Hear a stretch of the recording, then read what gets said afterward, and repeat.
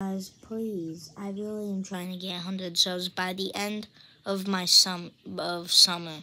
I mean, by the beginning of summer. If I get, I'm trying to hit um 80 subscribers by the end of this month, known as this year. By 2022, I want to have at least 80 subscribers. And um, yeah, thank you.